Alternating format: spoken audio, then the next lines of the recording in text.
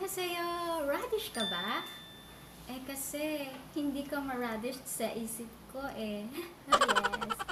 Hi guys! It's me, Simply Nancy Pelgon, and welcome back to another video. So, speaking of radish, in Korean word is mu. So, radish is the main ingredients in making radisy kimchi or make a radish soup. Our episode for today is I'm going to show you how I make Korean radish soup called sugugi muguk. Sugugi muguk. So, and the main ingredient nila is only water, beef, radish, garlic, and so if you are interested on my video, just keep on watching and please stay close with my channel. So without further ado, let's jump right in.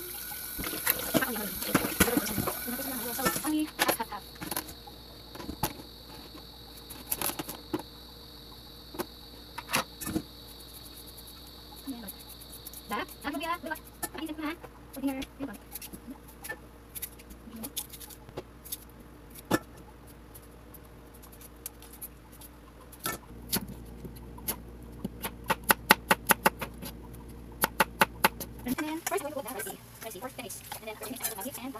It's boiling na. Tadaan! So, it's time to add the beef.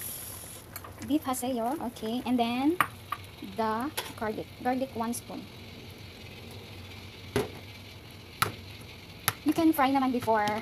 You can fry also this one, the beef and this. You can fry the beef in radish naman mga. But this time, I boiled. So, ayan. So, some more salt, uh, some more garlic. Fish sauce, one spoon. This Korean fish sauce, fish sauce naman. Korean fish sauce, one spoon. So later we're gonna add some more sauce, soy sauce. We're gonna add some more soy sauce later. Okay, so let's get boiled into 25 minutes. So we add pepper, onion leaves, onion leaves, and later we're gonna add onion leaves and cover. We have many kinds of soy sauce, but I have here three kinds only. So this one is, di ba familiar naman tayo in patties or the fish sauce? Ito po yung ano, Korean fish sauce. And the other one is soy sauce for soup. Yan. And then that one, normal na soy sauce. Mixing in many kinds of soy sauce. So, I prefer to put only the fish sauce and this one for making in radish soup. So, okay. Okay. Soy sauce for soup. Simple soy sauce. And that there.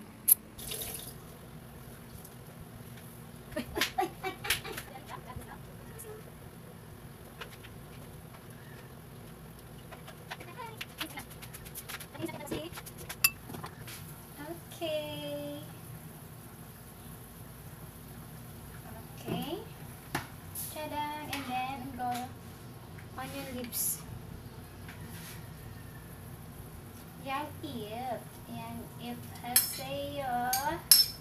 Ito ba yan? Gana it? Yok jali haseyo. Hoy, hoy, hoy.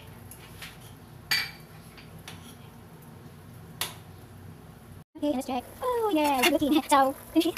Okay, that's mine. So we're going to cook, or what we call radish soup. Radish. Radish. So simple try mo lalas. Very simple and very healthy. Uh, and uh, Very healthy. Okay, that's my radish soup. Korean radish, radish. That's my Korean radish soup. Or what we call soup. So thank you so much for watching. See you on my next video. And thank you so much for sending love and support to my page in my YouTube channel. So please stay tuned for more Korean updates and more, more, more. 감사합니다. 안녕. 다음에 또 봐.